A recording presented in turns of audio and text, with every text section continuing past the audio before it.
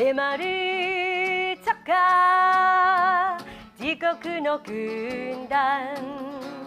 我らの狙う黒い影世紀の平和を守るため Go Go Let's go เพียงท่อนแรกของ Let's Go Rider Kick เพลงไทเทิลของไอ้มดแดงแห่งยุคโชวะ ก็เพียงพอจะพาคนฟังย้อนเวลากลับไปหาวัยเด็กของตัวเองได้ ผลงานเรียบเรียงดนตรีของโอเล่สุกลวัฒน์มาดแพง มือกีตาร์ fingerstyle มากฝีมือ และขับร้องโดยนักร้องสาว หลินวรวลันทานทองสกุล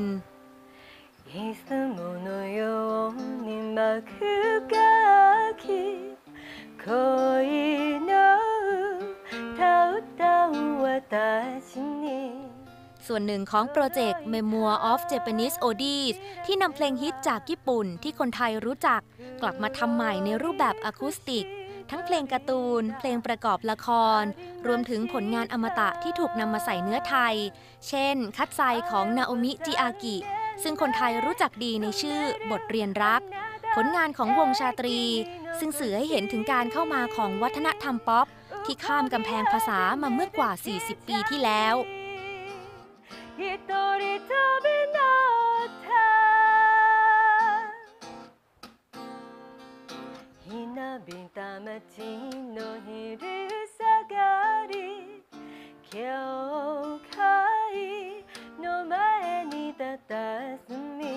คือไอ้มดแดงเนี่ยเข้ามานี่ก็ผมเอาละโอ้โห มันมีอิทธิพลในตอนเด็กมากสำหรับผมนะว่าการเล่นการเล่นในตอนเป็นเด็กนี่จะอ้างอิงเรื่องความเป็นมดแดงมากๆนะฮะกระโดดถีบเพื่อนหรือว่าไปโรงเรียนแล้วจะว่าไปกระโดดน้ำที่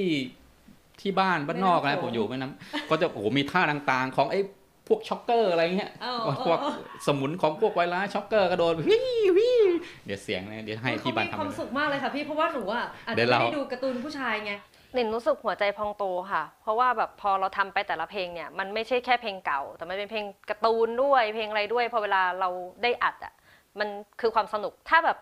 ถ้ามันมีภาพเบื้องหลังนะ คือเวลาหลินอัดแต่ละเพลงที่เป็นเพลงการ์ตูนอะหลินเต้นทุกเพลงเลย ไม่มีเพลงไหนไม่เต้น คือแบบ มันสนุกมันต้องสนุกไปด้วยอะไรเงี้ยแล้วมันทำให้เรานึกถึงแบบตอนเด็กๆของเรา นึกถึงหน้าโดเรมอน นึกถึงหน้าโดวิตะชิซุกะที่นึกถึงทุกคนอะไรเงี้ยย้อนวัยไปด้วยในตัวค่ะทำให้เรารู้สึกแบบมันเด็กขึ้นอะอะไร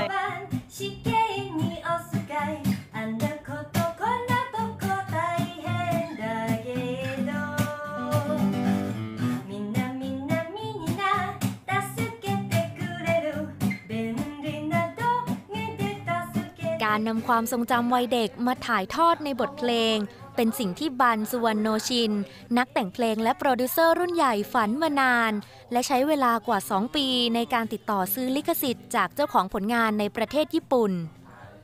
สำหรับเขาแล้ว คุณค่าของบทเพลงเหล่านี้ยังอยู่ที่การได้ระลึกถึงเรื่องราว ในยุคที่โทรทัศน์ยังมีไม่กี่ช่อง และรายการเด็กมีเพียงละครหรือการ์ตูนจากแดนอาทิตย์อุทัยเท่านั้น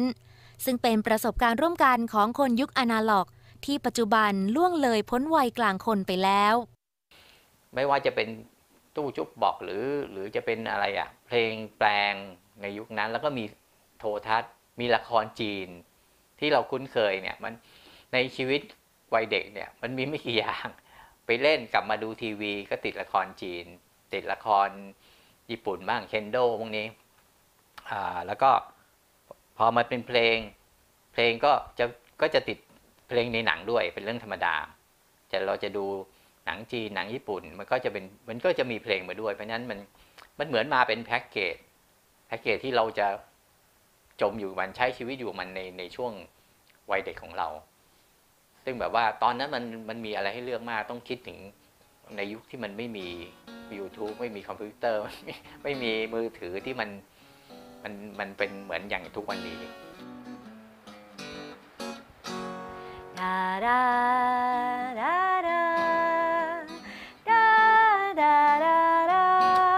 โปรดิวเซอร์หัวใจเด็กยังบอกอีกว่าสำหรับเขาแล้ว ผลงานเพลงเก่าอาจไม่สมบูรณ์แบบ ทั้งในแง่ของการเรียบเรียงหรือการบันทึกเสียง แต่ก็ถือเป็นอีกหนึ่งสเสน่ห์ที่คนฟังสามารถสัมผัสได้ในทันที โดยเฉพาะคนที่มีประสบการณ์ร่วม ถ้าได้ฟังแล้วก็เหมือนได้ย้อนคืนวันกลับไปยังหน้าจอโทรทัศน์ในวัยเด็กフェアプレイで聞くとけて男の感情を見せてやれ湯気湯気タイガータイガーまっすぐタイガーまっすぐタイガー